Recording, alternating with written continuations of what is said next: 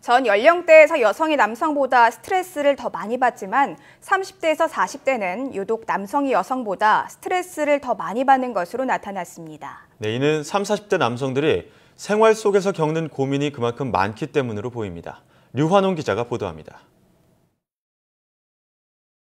40대 남성들은 가정과 직장에서 어, 중간 계층으로서 스트레스를 많이 받고 있는 것 같습니다. 예, 직장에서는 성과를 도출해야 될 시기고 가정에서는 육아하고 어, 노후 계획을 준비해야 될 시기인데 아무래도 회사를 구해야 하는 입장이기도 하고 회사 내에서 업무를 가장 많이 담당해야 하는 위치에 있기 때문에 그런 업무적인 스트레스가 많지 않나 싶습니다.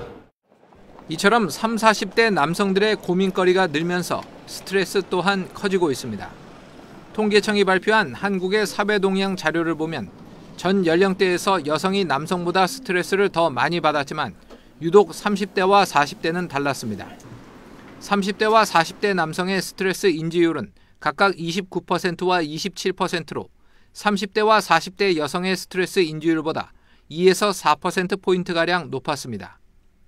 연령대별로는 남성과 여성 모두 고등학생 때 스트레스를 가장 많이 받았고 남성은 60대가 여성은 50대가 스트레스를 가장 덜 받았습니다. 다른 나라와 비교해보면 한국인의 우울감과 자신감 상실 경험률은 선진 29개국 평균치보다 훨씬 높았습니다. 통계청은 다른 나라와 비교해 한국인의 정신건강이 낮은 수준이지만 스트레스 인지율과 우울감 경험률이 계속 낮아지고 있어 정신건강이 개선되는 추세라고 설명했습니다. YTN 류환홍입니다.